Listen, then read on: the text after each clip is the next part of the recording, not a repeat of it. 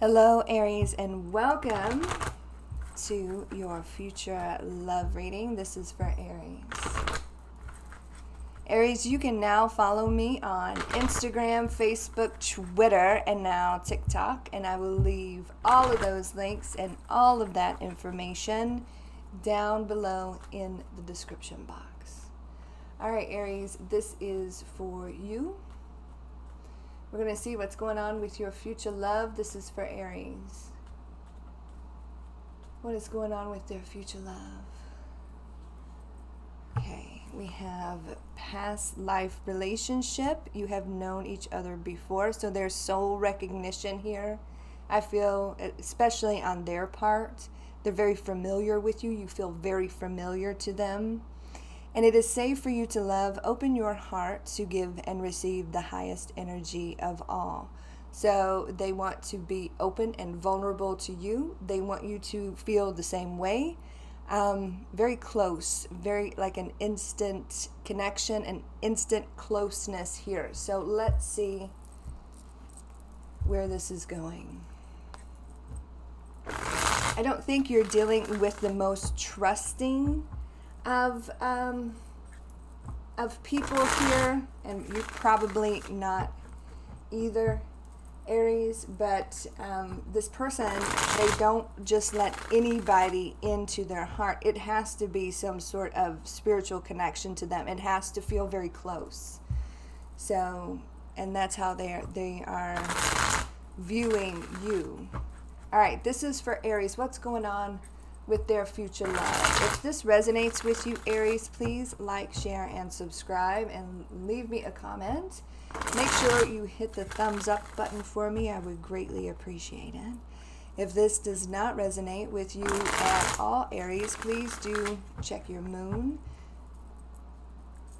your rising, your Venus, as this will not resonate with every Aries out there. Please keep in mind some of the energies can be Vice versa, interchangeable, assign the roles as you wish. This is for Aries. What is going on with their future love? Okay.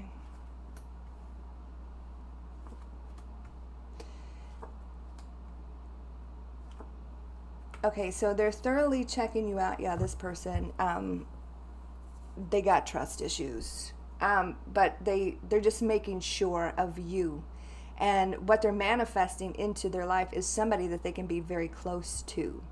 All right, so the way I'm seeing this now, you could be dealing with a Sagittarius or somebody with strong Sagittarius in their chart. Balance, patience. The, this person's very patient. They want to know all about you. This and this is a new person to you in this lifetime. Um, you kind of surprised them, uh, but you were a pleasant surprise. Um, they do want to open up the lines of communication. That's what they're wishing for, and they will when the time is right. But they just want to make sure um, about a few things here. They do feel that spiritual connection to you. Um, temperance. So I feel like your souls are ready to reconnect in this lifetime. So that's that's really nice. This person's very, very patient and methodical, right? They don't let just anybody in. They don't. Um, very guarded individual. So they have to see what they have to see uh, before they um, let you into their heart. They're very selective, and it has to be something absolutely amazing. And you probably feel feel the same. So you could be dealing with um, an air sign or somebody with strong air in their chart. We got the Queen of Swords energy. This person's been through it, okay? Uh, Queen of Swords energy, male or female, very experienced, well seasoned, um, been through uh, the struggle, been through the hard times, um, especially when it comes to relationships. And right now, this person's thinking with their head and not their heart. Their heart will come later. So they just want to make sure, um, they just want to be sure about you. Because when they are sure about you, that's when they're going to get serious, okay? So you can be um, dealing with an earth sign or somebody with strong earth in their chart. Um, male or female does not matter. This person is looking for somebody to be settled with. Um, they're not looking to jump into anything too quickly. I think that's what they've done before in the past, and they they got burned. Right? It was very um, their love life has been very karmic. Their past um, relationships been very karmic, very spontaneous, very um, driven by their passion, their attraction, instead of um, the the mind or the soul or the heart. It's been very um, passion driven. So now this person sees uh, love and sees relationships in a completely different way, and they're very selective. They're very careful, and um, they want somebody that they can be settled down with, that they can spend their life with instead of, you know, just just being through all the like it's so so much chaos so much drama that this person is is used to dealing with they don't want that in their life anymore they're calling somebody else in they're calling you in um, and with this past life connection they're calling you back in, right? So it's time to reconnect in this lifetime. All right, Aries, I'm going to read the energies of the cards. If the sign of the person that you're dealing with, have dealt with, or will be dealing with in the future, if their sign pops up, all the better. Keep in mind, time is fluid. Cross watchers, keep in mind that some of the energies can be vice versa, interchangeable. So, however it resonates with you. Um, I'm going to read these two together. They they feel like it's fate. They feel like it's it's destiny. They um, feel like um, this is a situation that could be meant to be, right? It's meant to be. Um, but they're wishing currently to open up the lines of communication, and they will when the time is right.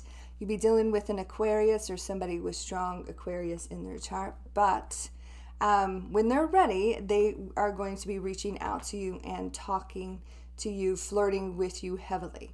All right, so the Hierophant, they want something spiritual in their life, a spiritual connection in their life, and this is where all of this comes in. You could be dealing with a Taurus.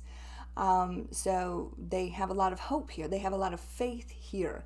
So they've they've you guys have ran into each other at some point and there was this that you kind of blew their mind with the soul recognition. You were a nice surprise and they just felt that instant connection to you and they want more of that they want more of that feeling. Because um, it's very rare that they feel that way. Knight of swords um, this is air.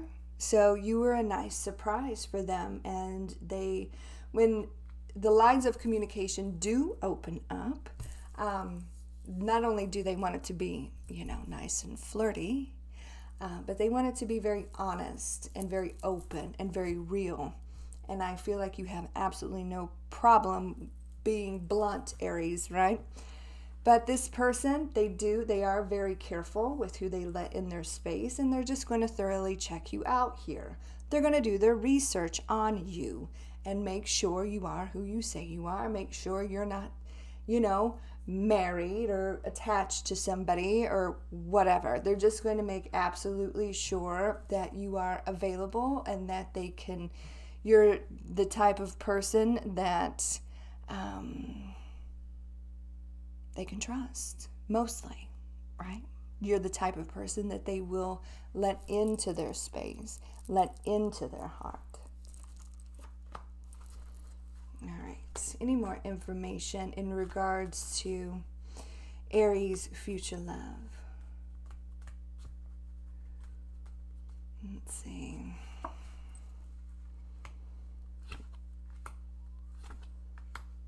There you are. Oh my. Okay.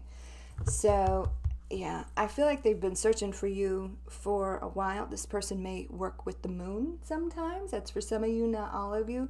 But they've been looking. And when you showed up, it was a nice surprise. like I was saying before, this person's been through it and uh, they are leaving behind a lot of empty cups here. Uh, it just, you know, very karmic relationships this person was dealing with, and now they want something real.